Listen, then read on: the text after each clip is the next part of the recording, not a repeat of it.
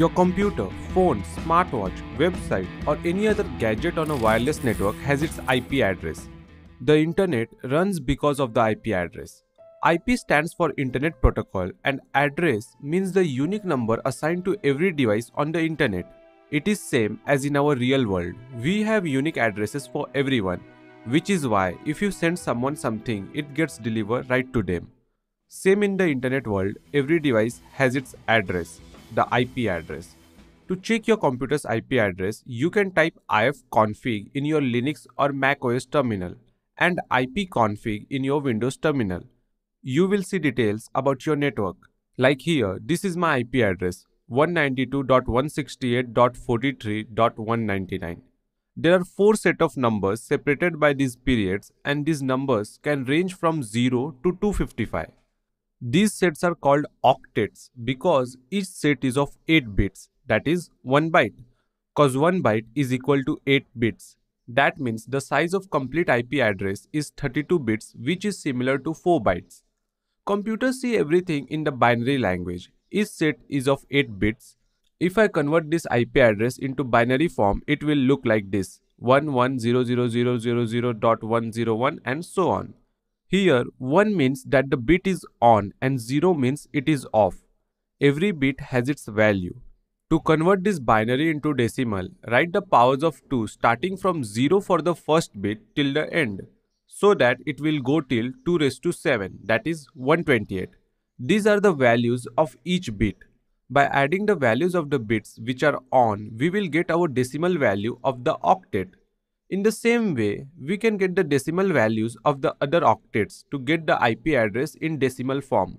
To convert the IP address from decimal to binary, we can take the decimal value of octet and then start from the highest valued bit and ask ourselves, can we subtract 128 from 168? Yes, we can. So write 1 for the corresponding bit and then move to the next with the remaining decimal value. In this case, it is 168 minus 128 that gives us 40. Ask the same question again. We cannot subtract 64 from 40, so we will write 0 for that bit and move to the next one. Yes, we can subtract 32 from 40. Let's write 1 here. Now 8 is remaining. We cannot subtract 16 from 8, so we will write 0 and then we can subtract 8 from 8, so we will write 1 here. Now that we have nothing remaining, we will write 0 for the rest of the bits. This is how you can convert an IP address from decimal to binary. If all the bits are 0, the decimal value will be 0. If all the bits are 1, the decimal value will be 255. This is why octets range from 0 to 255. There can be 4.3 billion IP address in this set of 4 formats. These IP addresses are divided into 5 classes A, B, C, D and E.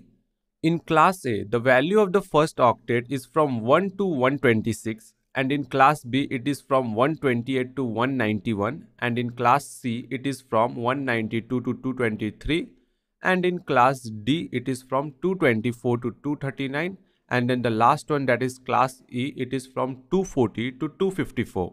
Where only classes A, B and C are available for public use, Class D is for multicasting, sending data to the group of networks who want that data, and Class E is for research and development. Here, the first octet starting with 127 is missing.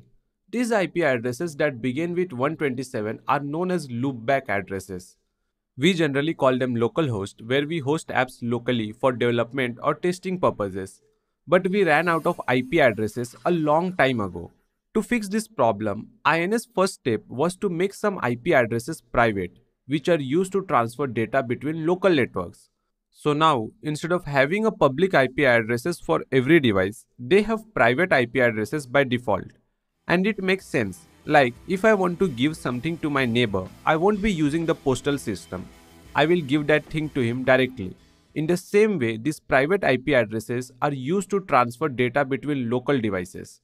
If some device wants to access the internet, then your router connects that device to the internet with your public IP address provided by your internet service provider.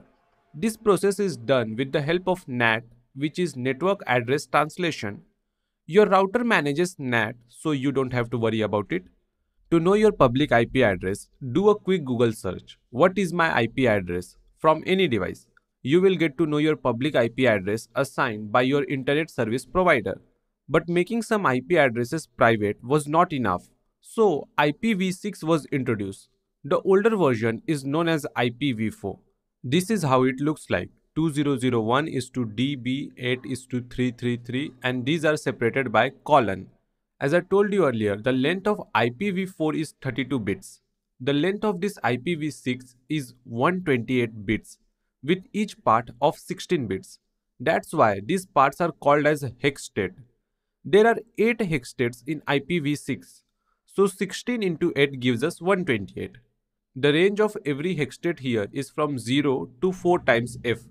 If we convert 4 times f from hexadecimal to decimal, the value will be 65,335.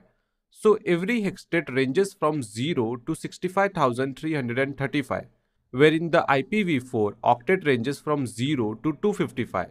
Due to this massive range of every hextet, we can have 340 IP addresses in IPv6.